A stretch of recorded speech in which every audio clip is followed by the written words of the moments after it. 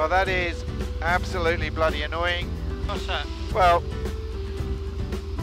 when I put the thing back, when I put the audio back into its position, Yeah. I knocked the back, which dislodged, dislodged a battery, Oh which means that all the audio that we had that would have been really, really interesting means I've now got to do it as a voiceover, Oh, but oh well. not the end of the world. Um, I did try recording a voiceover, but for some reason it all sounded strange. It was as if I was in a swimming pool with all the sort of echoes actually underwater at some time. So I did it with the um, subtitles. Some people actually seem to quite like that, and uh, yeah. Angus needed to watch it four times in order to give himself some reading practice. I think we're we're lucky, and privileged to be able to do this. Yeah, absolutely. There we are. And, and I'd, I'd be even more happy If you I could fly. Get, if I could get my bloody brakes sorted Yeah. again. Jacob's ladders again. Whenever we fly together, we've got Jacob's ladders. Yeah, That's probably Dad telling me something. yeah, more than likely. But yeah, it was a bit annoying because we'd been saying that what had caused the delay in, in us getting over and, and everything. And then we were gonna, we got fuel for John's RV and for, for this. Unfortunately, John, when he went into his hangar, saw a puddle of brake fluid Oh. underneath his right hand wheel again. Not uncommon, unfortunately. No, I, don't, I don't get it. Every single part of it is new. Every single part. yeah. My name is Tim Palmer. I fly a Jodel DR1050 out of this farm strip Anglia.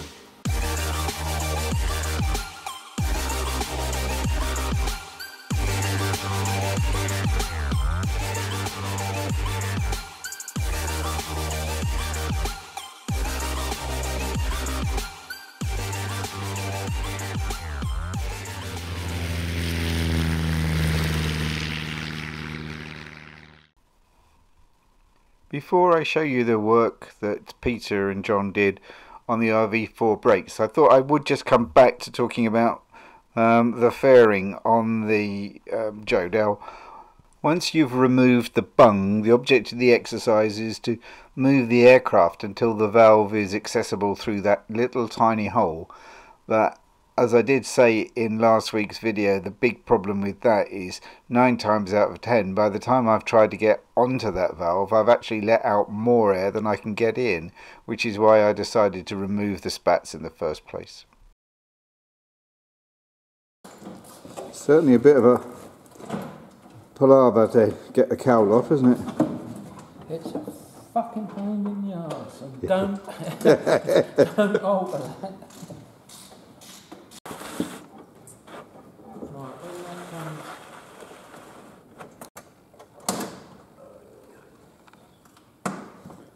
Okay, I check the other side.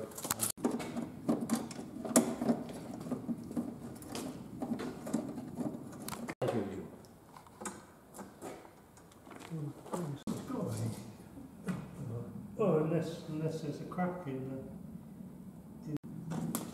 Is it? That's uh, 7 16th, I think. And it's not that one, Yeah, but it is that one, yeah. The... There's fluid down... Um, right?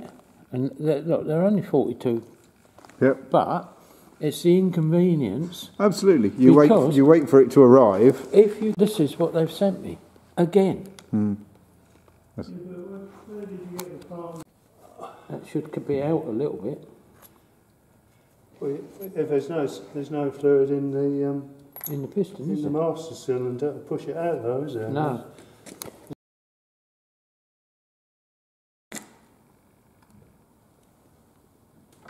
I must have done this, well, let's put it this way, at least three times a year.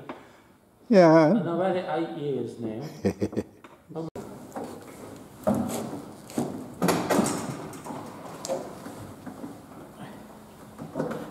Well, I can't see any bubbles on that side at this point.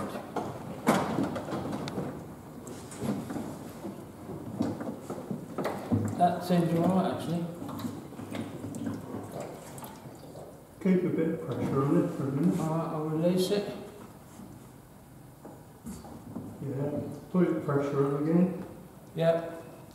Hold. Will it hold? Yeah. Is it bloody that doesn't normally? Well, Almost. the tubing is very pink, isn't it? Right to the top. Yeah. Well, I can't see any anything weeping out. That's, that's uh,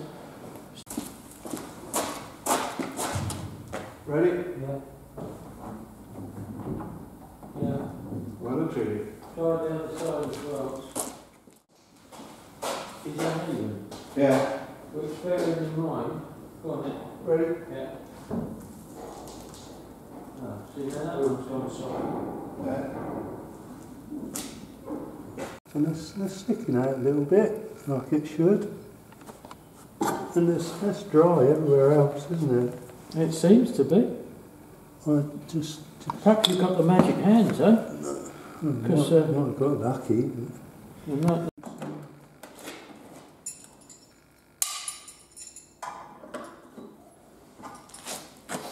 Is that anything happening? Yeah, well, there's a little bit of a bubble there. but How does it feel? It, oh, it feels alright. Can you just put your foot on it, just gently? This uh, the left foot, yeah. foot, yeah. Right, here we go. Well, that's it. Because earlier on, that one was full, wasn't it? Yeah. Well, don't take your feet off. Don't, don't Alright.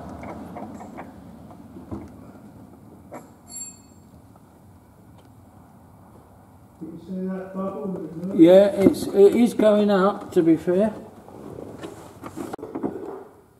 that's what I've been trying to do all the time.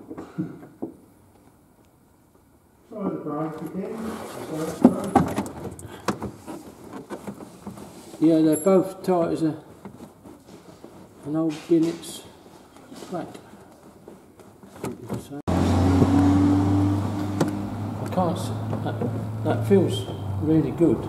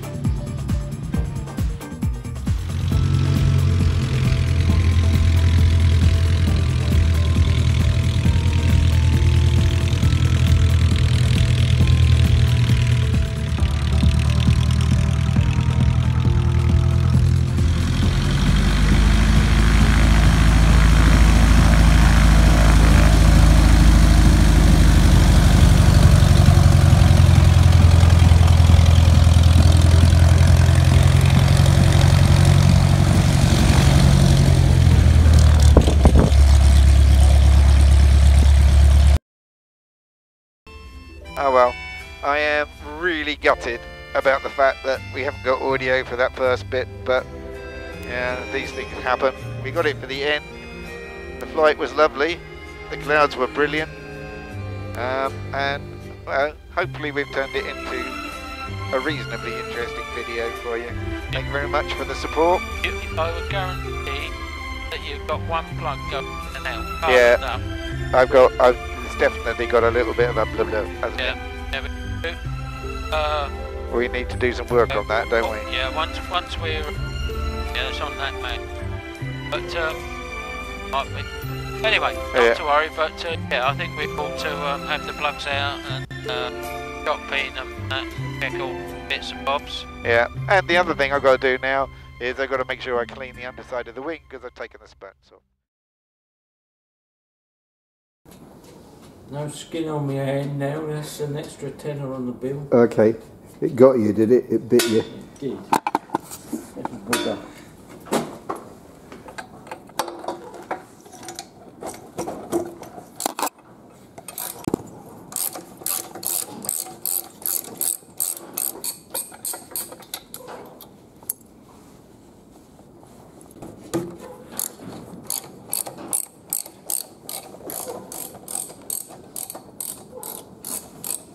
About that one? Sooty, but looks alright.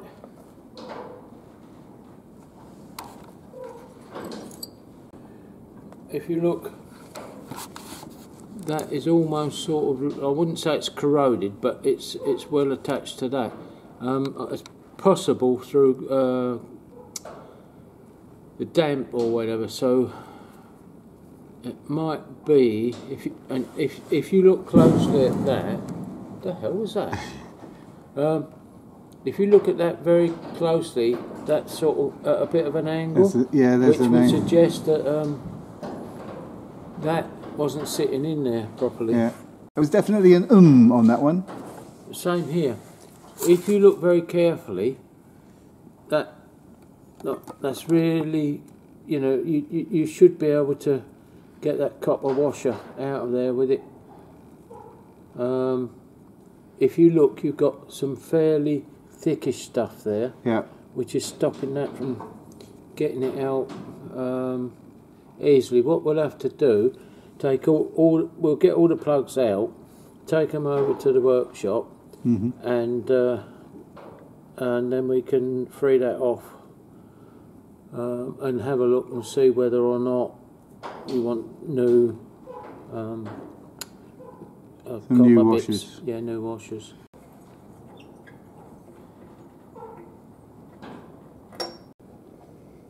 Yeah. So you say this is definitely one of the ones that hasn't been firing. Well, it, it, I wouldn't say go as far as to say it hasn't been firing, but it hasn't been uh, working. Not been working like the other ones. Yeah, it's not working to full efficiency.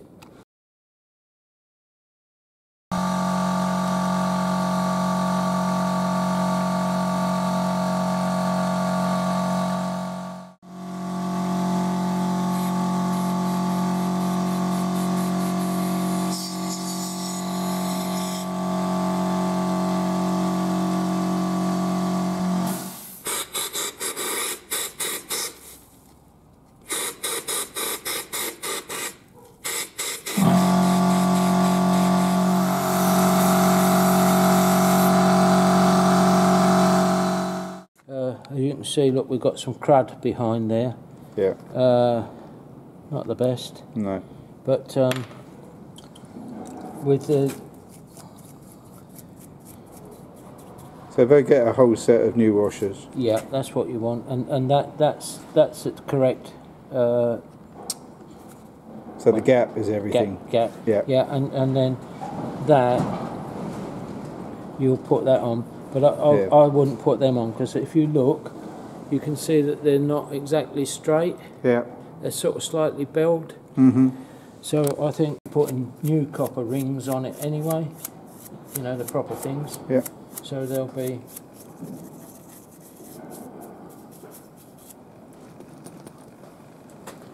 So time we've got time we've got the compressor going and that and that, in actual fact what that is in there if you look very carefully it's that um uh thingy that It's the copperies. yeah I want to take that off as you can see that one has got hot at some point. point and uh, it's got sort of you know it's been on there for ages Yeah. but but if you look inside, it's very good. inside. It's very very clean, nice gap. So we just take this off now, clean that, and put it in with the ne- next ones. Good. So what we're doing is, is they're, they're a bugger to get out. But what the thing to do is to put it in the very, very edge in the, uh, whatever you call these. On the bloody vice. These, these bloody things, you know, these lumps of metal. That Yeah. we, uh, and then you just not give it a little wiggle and it comes And out. it comes easy straight out. as anything. Right. And you chuck that away and get a nice new one. So you say on this one, you know, with gaps are okay. Yeah. We just got to make sure that we got the crud cleaned out on the inside. Yeah. Right. Look at the state of this one. This was the last back one, which I'm not surprised of. But what has surprised me, if you look, that was in pretty poor um, state, which means that when we go back over to the hangar, we have to look at it because it's quite possible that that will have a helicoil in the rear uh, pot and possibly, you know, it's got a bit warm because look, it's you've got some bypass. So consequently, this is difficult to come off, as you see. So not only have we got to check the plug, but we've also got to plug um, to check the plug hole. Okay. We've got a, a fairly good thread there, okay, a little bit more, you know, cleaning, but the point is, we now know that, that the thread on that pot has probably been helicoiled, hmm and it may have to be done again at some point. Yep. But we'll have a look at that. And you've got all this gunge because you haven't been getting a good spark. Yep. So we'll go from there. Basically, we've come back to this plug, the last one. It looked as though it had loads of crap in there, which quite frankly it did have, but it was only copper slip. Uh, but, but there was perhaps a little bit too much hmm uh, copper slip. You can see that the actual um, gaps are just about right. That's my forefinger. But we've, we've given it a quick wash. We'll give it another wash, and then we'll go and have a look and see if the helicoil is is um, holding on properly. Right. So this engine, when it was overhauled, it's obvious that, that it's had all the pots have been helicoiled. Um, this carries on effectively from what we were talking about in the other hangar uh, with the helicoils, one, one or two. This has got mostly helicoiled, but looking at them, they have been done professionally, I imagine. Um, they look in good condition. The threads on them and everything are good as gold. So for now, then, we're going to uh, clean it all up, um, get it all nicely put to bed. Okay, and what I'm going to do now, I'm going to put some oil in there, like so. We'll get that in the pothole and we'll do this with all four. We'll stop getting dust in there, we'll stop getting corrosion in there. We might make a bit of a mess, but uh, it's better to. Whoops. That ain't gonna corrode. Let's put it like that for a day or so till we get the new uh, gaskets. You don't want to put loads and loads and loads. Can you see in the light there? All right. hmm Um, what I do is I just get a little bit like that, and then I, I sort of just work it round. Like you've got a, a decent seating under there, and you don't want it to go. So it's it's not too much hmm because it will squidge out. Then you just The crushable washers, are these? yep. Yeah. hmm And it's as simple as that. You go round there. Now we need some good weather in order to test them all. Thank you very much for watching and well done if you got this far.